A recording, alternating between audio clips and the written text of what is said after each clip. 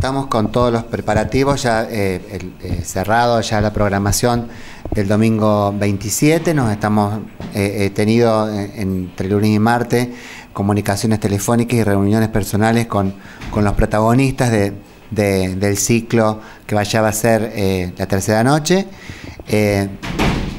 Va, a estar Emilio Batistón, Emanuel Aguilar y va a cerrar eh, la banda cuartetera de, Vicuña Maquena, obviamente la, máquina. Eh, bueno, nosotros eh, siempre trabajamos con mucho tiempo de, anticipación, así que ya tenemos como preparados este fin de semana y lo que va a pasar el 3 de febrero, ¿sí? y ya vamos a ir armando, ya vamos a ir notificándoles a los músicos también quiénes son los que van a participar en los últimos eh, ciclos, que ya nos quedan eh, cuatro ciclos, eh, y también va a haber músicos que están anotados, que van a participar de otros eventos que están comprendidos dentro del programa Viva el Verano en la Ciudad. Viva el Verano en la Ciudad, como bien lo digo, es un programa. Dentro de ese programa hay actividades. Una de las actividades es el ciclo Música en la Plaza, pero hay otras actividades que también que están comprendidas dentro, dentro de, ese programa.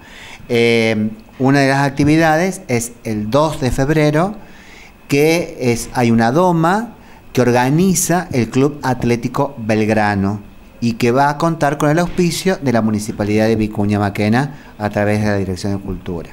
Otra de las actividades es el 24 de febrero, donde eh, la comisión, la vecinal eh, del barrio San Vicente, organiza ya los tradicionales carnavales.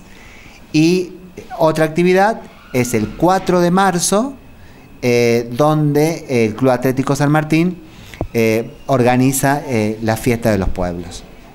Entonces, nosotros, al tener una grilla tan abultada de artistas locales inscriptos, los que no toquen en la plaza, ¿sí? van a estar en los carnavales o en el, Club Belgrano o en la fiesta de los pueblos de, San Martín. Eh, sabemos que un año con mucha actividad y bueno, y este año, como decía, se suma esta fiesta de los pueblos que ya por mucho tiempo lo viene haciendo la entidad celeste, que el año pasado no pudo hacerse.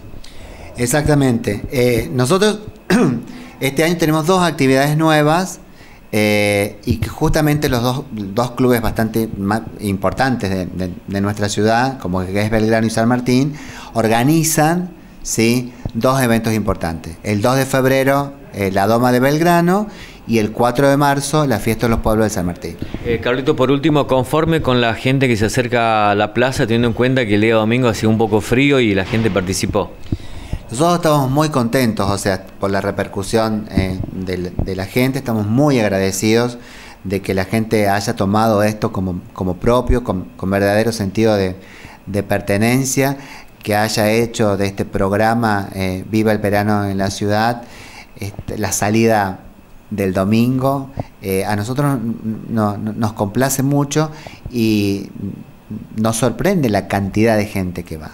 Los dos domingos eh, que tuvimos la oportunidad de hacer el ciclo, eh, la plaza estuvo colmada, eh, la avenida también con mucha gente, las cantinas trabajan muy bien para las instituciones, o sea, sobre el escenario todo se desarrolla con, con absoluta normalidad y trabajar de esta forma para nosotros es una verdadera fiesta, un verdadero placer para trabajar para nuestros vecinos. Y, se suma por ende también esta posibilidad de que la avenida cada fin de semana, o por lo menos el domingo, es peatonal, ¿no? Donde la gente sí o sí camina, tiene que pasar por la plaza. Sí, vos viste que vienen muchas familias, los chicos vienen en bicicleta o con los patines o la patineta. Eh, y esto, bueno, va disparando otras actividades, como por ejemplo la Feria de Artesanos, que ya hicimos dos. Las próximas ferias de artesanos son los dos fines de semana del medio de febrero. El 10 y el 17 de febrero tenemos nuevamente Feria de Artesanos. Lo que pasó, por ejemplo, con el avistaje del, del, eclipse de luna. Eh, en realidad, eh, muchas actividades que se, también la demostración de la escuela de judo, o sea, la gente aprovecha la, plaza yo digo que la Plaza de los Domingos se transforma como una lupa muy grande, donde, bueno, nos podemos ver, y también es un lugar de encuentro, lo que eh, decís un poco vos en, cada noche que, se presenta, ¿no? Eh, es un lugar de encuentro, los vecinos se encuentran, charlamos, ¿sí? Y en un lugar tan particular como es la Plaza Domingo Faustino Sarmiento en, en nuestra ciudad.